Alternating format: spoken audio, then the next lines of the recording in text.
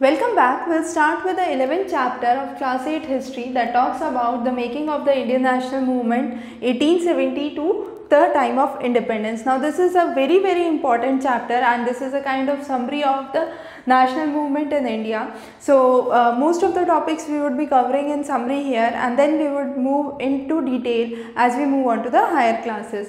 Now how did the issues that we have been reading across in the last chapters started to raise and create a kind of mass movement among the people.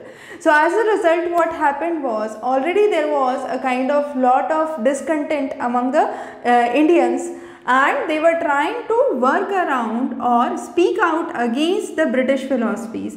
Now what happened during this time there were three major things that happened. The first of that was the Arms Act now Arms Act said that no Indian would be allowed to possess any kind of arms and that was brought in 1878 the next important move was the Vernacular Press Act and this Vernacular Press Act said that any objectionable content against British government will not be allowed. If found so, it would be confiscated and the press would be confiscated. So, these two along with the third most important that was the Ilbert Bill.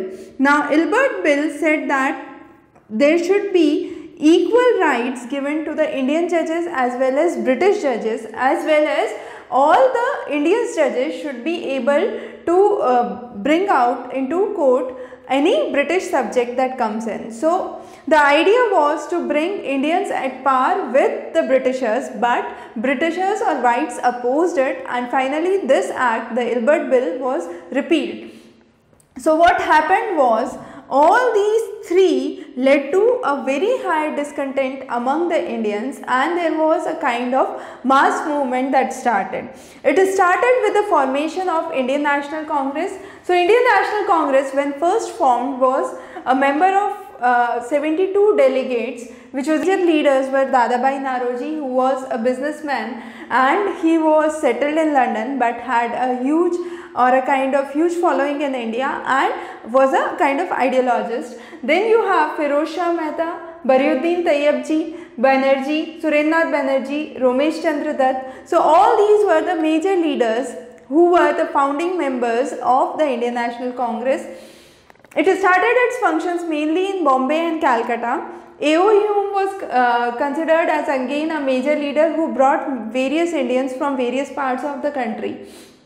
Again, during this period, we saw a kind of nationalist move. However, there were two sects working around. First was the moderates and the next was the extremists. Extremists you can remember as Lal Balpal Lala Lajpat Rai, Bal Gangadhar Tilak and Bipin Chandra Pal as the major extremist leaders and under the moderates were those who followed the philosophy of Gandhi and they followed a kind of non-violent move. So both of these were working together towards uh, creating a mass movement and nationalism during that time. Now the major things they were focusing were first of all they wanted the administration should have Indian representation. So they said Indianization of the administration should take place. Civil servants should be appointed and those should be Indians as well. Most of the people who are into high jobs or government jobs should be Indian. Judiciary should be separate from executive. Arms Act must be repealed. Vernacular Press Act should be ended and uh, Ilbert Bill should be brought about and those who were opposing the Ilbert Bill should not be allowed. So again besides this there was during that time a lot of poverty that existed as we saw in the previous chapter and there were huge taxes that were put up onto the common man. So all those were the issues which the Indians were worried about. Again during this period there was a salt tax that was passed. Now salt was something that was a common man's necessity and if you are putting up a tax on a commodity that is a common man's necessity, it becomes very difficult for the common man and therefore this salt act later brought into what we say the Dandi March or the salt satyagraha that we will discuss in the in this chapter itself as we move forward. So all this were the major issues that were focused on. We already talked about the philosophies of moderates and extremists. Extremists were much more uh, self-reliant and constructive and they were fighting for Swaraj. Tilak said, freedom is my birthright and I shall have it. And in Kesari, which was a Marathi newspaper which was edited by Tilak, this Kesari later on became as one of the major critics of the British rule in India. So all these efforts brought around a kind of movement or nationalism feeling among the people. Again important thing during that time was partition of Bengal. Now Bengal was a big area during that time. What happened here was an interesting thing that this Bengal was not the present day Bengal as you can see. This Bengal included the Bengal, Bihar, regions of Odisha, then you have East Bengal, the Bangladesh area and Assam. What Lord Curzon in 1905 did was he separated basically the regions of Bengal. Uh, the sole idea besides this was the Bengali community or some of the Bengali personalities like Rabindranath Tagore were very influential. So the sole idea was to cut their area of influence. So if there is a smaller state, they would have influence on less number of people. If there is a bigger state, they would be able to influence more number of people. So partition of Bengal was uh, one of the efforts or one of the moves by Britishers However, this partition where East, Bang uh, East Bengal and Assam was separated was a kind of major opposition that was brought about by both extremists and moderates and there were numerous public demonstrations and meetings that took place during this time. The next important thing as an opposition to this was the Swadeshi movement. Now Swadeshi movement said Swadeshi apnao Videshi bhagao that means uh, we should adopt the things that have been made in India and we should oppose the foreign products that is similar to what we presently call as make in India scheme. So uh, the idea under this Swadeshi movement was to utilize or uh, by, sorry, utilize the Indian products and boycott any of the foreign clothes. So, there were numerous public demonstrations held where burning of foreign clothes took place. The similar movement that took place in South India was named as Vande Mataram movement and uh, this was in the region of Andhra Pradesh. The Swadeshi movement was strongest in the areas of Bengal. There were two primary reasons for this. Firstly, Bengal was one of the regions or the kind of prior capital of British India. Again, this region was the region which was highly influenced by Lord Clive and then you had Curzon. So numerous Britishers advented into this area and this area was we can say the initial and the most prone areas with the British influence. So there was a kind of huge movement among the Bengali personalities and the influential leaders to boycott the British products and the British goods into India.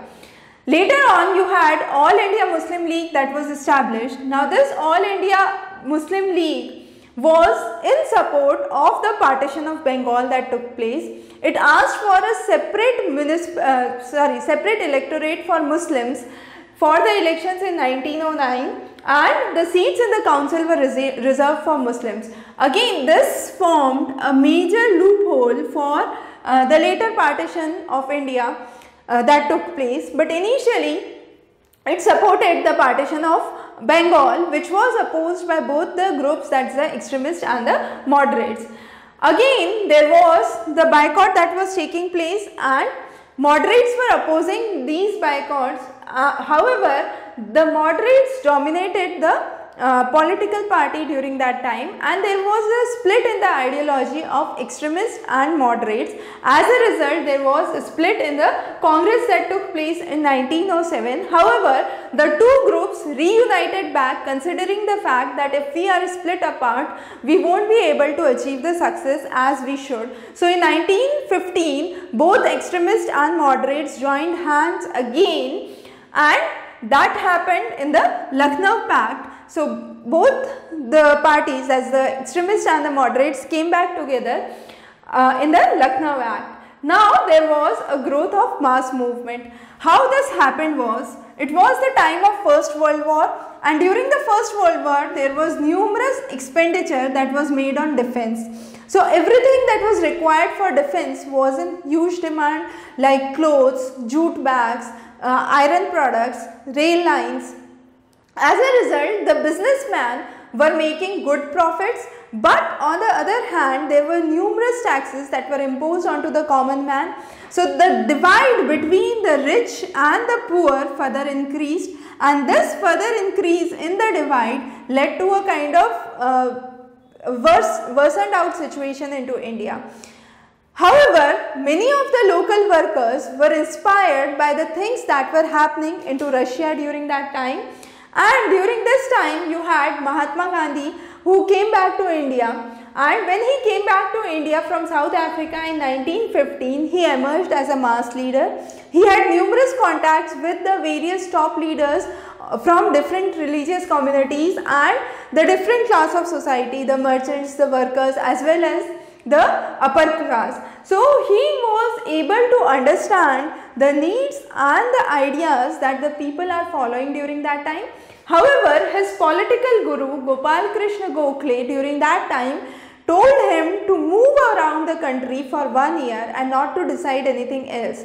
Just look into the situation and analyze it. So he toured India for one year and then he came across Champaran, Kheda, various Patidar communities, the various peasant communities in Ahmedabad, in the regions of Gujarat, in Bengal, the, the state of indigo workers, the state of cleanliness based on which we have the cleanliness drive now. So all those things he just worked around and then there was the successful mill workers strike that took place in Ahmedabad and there was the feeling of this Swadeshi that was still uh, working around but during that time Rowlatt Act was passed this Rowlatt Act in 1919 said that it would brought uh, it would bring about a curb on freedom of speech and expression and this was strengthened by the political powers. So what happened was the common man in india was not having the freedom to speech or the freedom to expression. Considering this as a fact there was a big public demonstration that was held in jallianwala bagh in amritsar so in Amritsar, when people were there to demonstrate against the Rowlatt Act that was being passed, they were being surrounded by General Dyer. As a result, you had the whole garden which was surrounded by the army of General Dyer and a fi firing took place in that region. Most of the people fell into the, uh, just dropped down into the fell, uh, well that was there putting up the slogans in Inqilab Jindabad and those who remained in the ground were brought down by the firing that took place by General Dyer. Considering the atrocities that took place during this time, Rabindranath Tagore renounced his knighthood knighthood was a kind of uh, uh, uh, honor that was granted by the Britishers to Rabindranath Tagore and he said that he no more wants that honor and Britishers should keep it with themselves. So this was a move that brought again Hindus and Muslims together. So during the partition of Bengal, we saw there was formation of All India Muslim League. There was a kind of separate electorates for Muslims that were started. But at this ground in Jallianwala Bagh, despite it was a Hindu or a Muslim, all of them sacrificed to death. So Hindus and Muslims joined hand again and they united for a common cause. During this time, again after the Swadeshi movement, so we can just write down the orders here you have the Swadeshi movement, then you have the Khilafat or the non-cooperation movement that took place. Now Khilafat movement said that the Khalifa or the Turkish Sultan would have or would should rule over all the Ottoman Empire or the Turkish Empire during that time and he must be granted right for that. However, Britishers did not wanted this Gandhiji was in support of this policy and you had Muhammad Ali and Shaukat Ali who initiated a full-fledged non-cooperation movement with the Britishers. Now this non-cooperation movement was further accentuated by Gandhi's movement and Motilal Nehru, C.R. Das, Rajgopalachari who was also known as Rajaji and Asif Ali were some of the major leaders who joined hand for the non-cooperation movement. This non-cooperation movement started in 1921 and as we said during this times this, this time Muslims were part of the non-cooperation movement that were due to two reasons. First, the, uh, the Jallianwala Bagh incidents that took place and second was the Khilafat agitation where uh, Gandhiji supported the Muslim leaders. Now as a result, in the non-cooperation movement, there are two movements and you should not be confused with these two movements, very very important, the non-cooperation and the civil disobedience. Under the non-cooperation movement, they said that they would not cooperate with the British policies. So, the idea was not to cooperate with the British policy. However, in 1930, we had the civil disobedience movement and in this civil disobedience movement, they basically said that we would refuse to obey the laws. So there was a kind of difference between the two ideologies. However, both of those were non-violent in nature. This non-cooperation movement was a kind of passive movement with Muslim support. However, civil disobedience was a kind of active movement with lack of Muslim support in this movement. Again, this non-cooperation movement was brought to end with the Chauri Chaura incidents. Now, what happened was in Chauri Chaura, a set of people put uh, the police station to fire and there was a kind of violent act that took place and Gandhiji was sad about it and he finally withdrew the non-cooperation movement. On the other hand, civil disobedience movement was withdrawn because of the Gandhi-Irwin Pact that was signed. So these two are a kind of different acts and you should not be confused between non-cooperation and civil disobedience. Coming back onto the non-cooperation, as we said, people said they would not cooperate. They would, uh, so there were numerous resignations from British jobs. They were refusing to join any British jobs. The titles that have been given by the Britishers were given back and there were numerous agitations that took place in Kheda in Gujarat. You had the coastal Andhra Pradesh and Tamil Nadu where numerous liquor shops were picket, uh.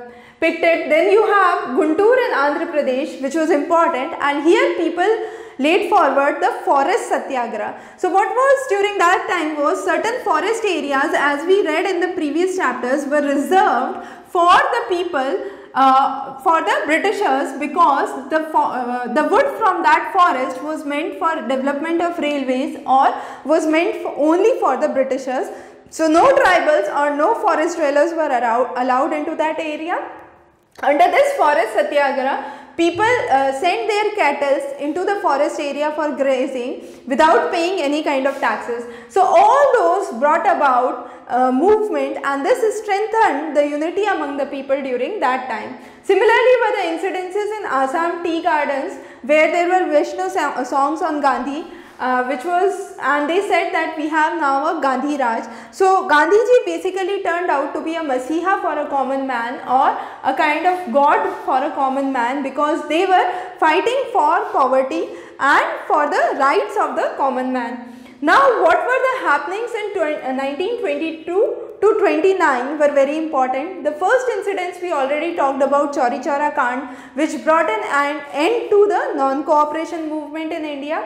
Then you have the efforts of Chittaranjan Das who was lawyer in East Bengal and Motilal Nehru. So they brought in the party should fight the elections to enter into the council and influence the government policy. Again you had formation of RSS Rashtriya Swayamsevak Sangh and Communist Party of India that took place during that time. Bhagat Singh was also active during this time and he gave the slogan Inqilab Zindabad. He founded the Hindustan Socialist Republicans Association at Firoz Shah Kotla in Delhi. Now this association was responsible for the assassination of Saunders.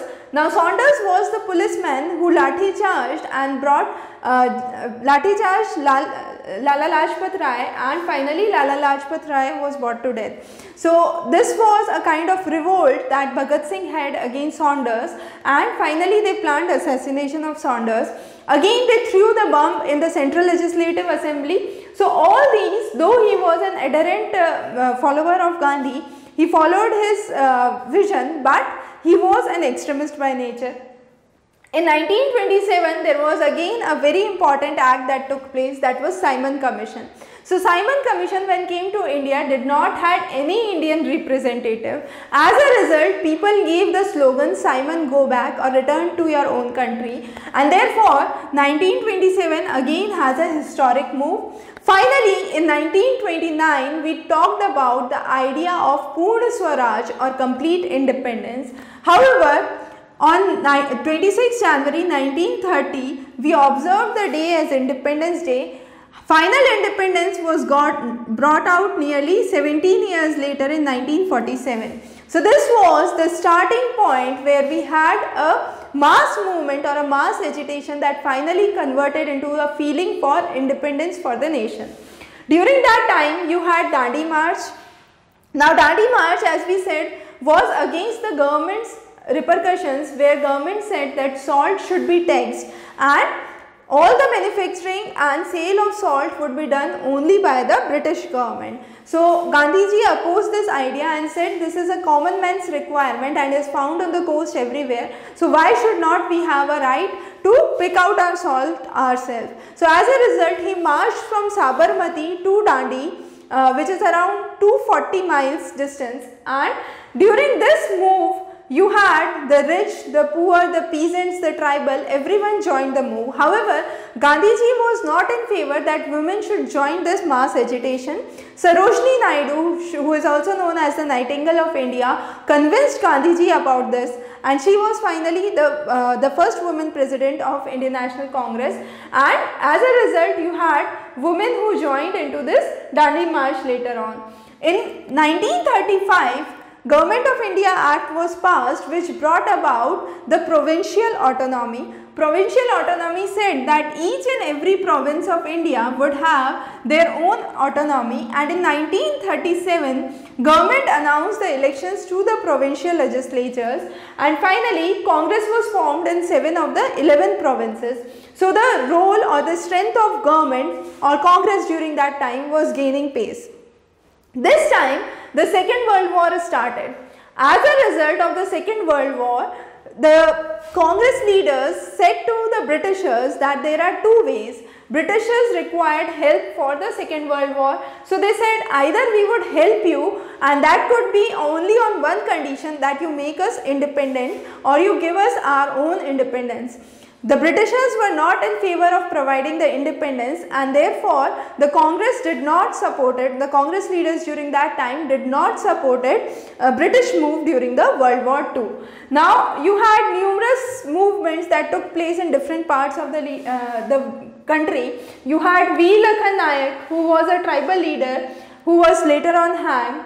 Baji Muhammad who was the president of Nabarangpura Congress in Odisha mobilized nearly 20,000 people during that time and Ambabai of Karnataka she was married at 12 finally she was widowed at 16 but she picked numerous foreign clothes shops and liquor shops and she had a sole purpose of or a sole commitment to bring an end to the British Raj in India. In 1941 Subhash Chandra Bose found, founded the uh, Azad Hind Fauj or the Indian National Army. Now this Azad Hind Fauj was founded by Subhash Chandra Bose because he flew from Calcutta to, Singapore, to uh, Singapore via Germany. So that was the route he followed from India to Germany and finally to Singapore and during the whole of his route he mobilized numerous people to join against the British atrocities in India and they finally entered India through the route of Kohima and uh, Imphal through the northeast but the campaign was not that successful. 1942 we call as the Sankalp to Siddhi, what we presently call at. And 1942, we took a mission that now we would liberate India and Quit India movement was started. 1942 was the ground for starting the Quit India movement where we gave the resolution do or die, karo ya maro. And during that resolution, you had a mobilization that was seen which was non-violent but numerous leaders were jailed Many of them were arrested and many of them were killed into firing. Muslim League during this time was demanding a separate state for the Northwest and East Bengal. So they wanted both Northwest and East Bengal to be separated and the tensions between Hindus and Muslims was rising during that time. This period witnessed numerous riots, burning of homes and numerous uh, disturbances into the country. However, the 1937 elections, Muslim was declared as minority in the provincial ele uh, elections and there was talk between the Muslims and the League which failed as the League saw itself the spokesman of Indian Muslims but the Congress had a huge support from Muslims. So there was a kind of break or a divide in the philosophy and Jinnah was one of the major proponents or speaker of a separate state for Pakistan. Finally, what came up was independence to India but that independence had a kind of bitter taste with the partition of India. So you had partition of India that took place along with the independence and you had a huge way to go around during that time. This all happened during that time and there was failure of the cabinet mission that also took place. So Muslim League decided for a mass agitation and finally you had the independence with the separate state of Pakistan that was separate nation of Pakistan that was created. Now there are some of the leaders who had their role which was immensely important for the independence movement in India. We will talk about some of those the important ones personalities. So you had Khan Abdur Ghaffar Khan also, also known as Badshah Khan. He was a Pathan or a, Pashta, a Pashtun and he was the founder of Khudai Khidmatgars he was strongly against the opposite, uh, he, sorry, he was strongly against or strongly opposed to a separate state of Pakistan. So he wanted a huge unity between Hindus and Muslims. However, this did not work on. Then you had Maulana Azad who was born in Makkah. His father was a Bengali and his mother was Arab. He was a scholar of Islam and an exponent of Wahadat-e-Din. Wahadat-e-Din means oneness of all religion. That means all religions should stay together. So again being a Muslim, he was a proponent of Hindu-Muslim unity. Therefore, Congress had a huge support from Muslim leaders and during the partition the idea was that few of the Muslims who want to be a part of India would be allowed to be a part of India. C. Rajagopalachari who was known also known as Rajaji was a member of the interim government in 1946 and he was the first India's Governor General of Free India. The salt satyagraha that took place or that was released by Gandhiji in North India was replicated by him into South India so again his role is important. Sardar Patel we know he was known for the unification or the consolidation of the provinces. When India got independent there were nearly 500 provinces that existed and consolidation was a big step. So Sardar Patel who was born in Karamsad was a major proponent of consolidation of the states into India. Muhammad Ali Jinnah as we said uh, he till 1920 was a supporter of Hindu-Muslim unity.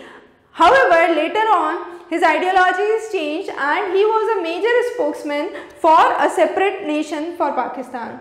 Jawaharlal Nehru finally was the major architect of the India's national movement and the builder of India's free economy and political policies. Now, we already talked about the scenario and the situations that took place in India. During that time, nationalism was emerging in Africa as well. Africa till now was under a dictatorial rule and only chiefs were allowed to rule on behalf of the foreign powers. So this affected the common man and all the legislature that was there was a kind of white legislature with blacks having no representation.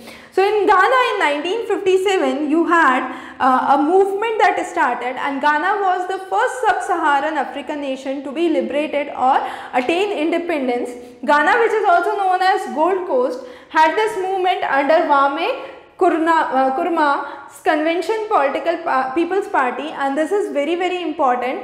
This worked around or spoke against the rule of chiefs, against the all white legislature and brought a kind of uh, setup into uh, the state of uh, the nation of Ghana where they got independence. Now coming back to a kind of quick summary, so we have the Swadeshi movement. So first of all there were the Arms Act, the Vernacular Act and the Ilbert Bill which created mass movement among the people or uh, a strong voice against the Britishers. Then came the Swadeshi movement. After the Swadeshi movement you had the Rowlatt Act as a part of Rowlatt Act, you had Jallianwala Bagh massacre that took place. Then you had the Khilafat agitation and the non-cooperation movement. However, this non-cooperation movement was withdrawn considering the Chauri Chaura incidents. Later on, after the non-cooperation movement, you had the Simon Go Back or the Simon Commission that was opposed in 1927. Then you have the Dandi March and civil disobedience movement that were laid down. Civil disobedience movement was withdrawn after the Gandhi-Irwin Pact. And finally, after these, you had the Quit India movement that was passed in 1942 and after 5 years we attained independence and in the Quit India movement we gave the slogan do or die. So this is a kind of basic timeline that you should have in mind while considering the modern history of India and with this we cover the 11th chapter. In the 12th chapter we will talk about the formation of India or the reorganization of states post independence and the scenario post independence, the issues that the country had to face. So stay tuned for the last chapter and we'll start with the class 9th and 10th NCERTs in the upcoming classes. So have a very good day ahead.